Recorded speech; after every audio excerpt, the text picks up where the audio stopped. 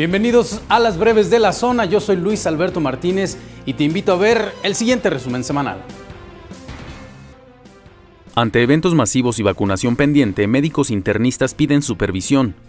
El presidente del Colegio de Médicos Internistas Capítulo León, César Alberto Moreno Cervantes, indicó que el panorama epidemiológico ha mejorado sustancialmente, pero su gremio no se confía.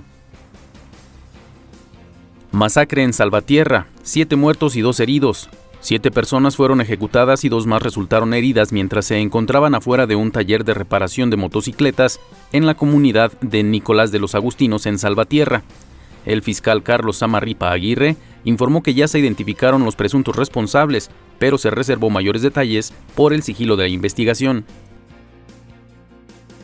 CENTE alista regreso gradual a clases, maestros participan en protocolos.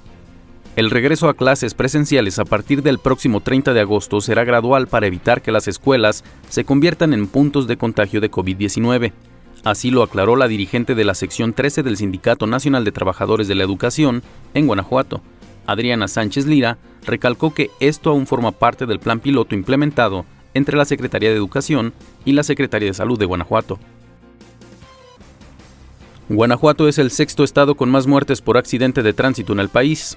Con 279 fallecimientos por accidente de tránsito, al corte de mayo, Guanajuato ocupa el sexto lugar nacional en esta causa de muerte. Esto de acuerdo con el Secretariado Ejecutivo del Sistema Nacional de Seguridad Pública, lo cual representa un 12% menos que el mismo periodo del año pasado.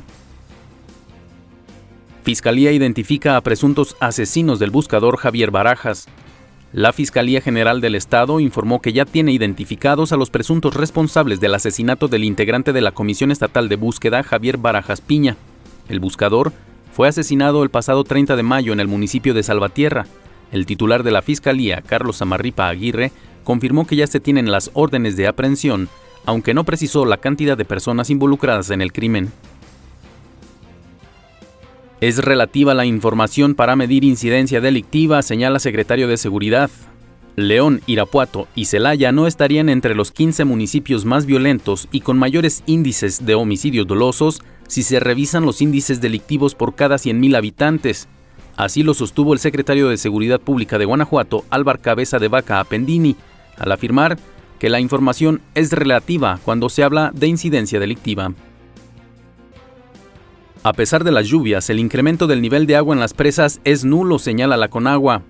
La sequía es un problema en Guanajuato y en sus presas aún no han aumentado los niveles de agua, pese a las recientes lluvias que se han registrado.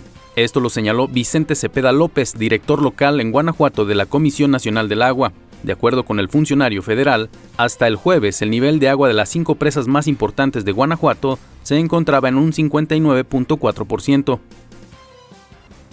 Regulación de ladrilleras en León se queda estancada a dos años de su anuncio. A dos años del anuncio del plan denominado Industria Sustentable de Insumos de la Construcción, cuyo objetivo es replantear de manera integral la actividad de las ladrilleras, la Secretaría de Medio Ambiente y Ordenamiento Territorial, SMAOT, sigue sin presentar resultados sobre el proyecto. Vinculan a policía por homicidio de Cristian, menor baleado en Irapuato. La Fiscalía General del Estado detuvo y obtuvo vinculación a proceso contra el elemento de policía municipal que habría disparado su arma de fuego y lesionado a un menor, además de haber privado de la vida a Cristian Giovanni de 12 años. El policía quedó con medida cautelar de prisión preventiva oficiosa por un plazo de cuatro meses en lo que se cierra la investigación. Guanajuato es estratégico para el crimen organizado, causa en común.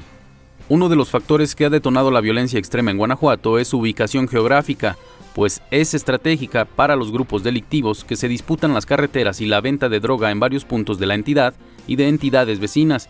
Así lo consideró Genaro Ahumada, investigador de la organización Causa en Común, quien expuso que la organización emite un informe mensual de actos criminales muy violentos en todo el país.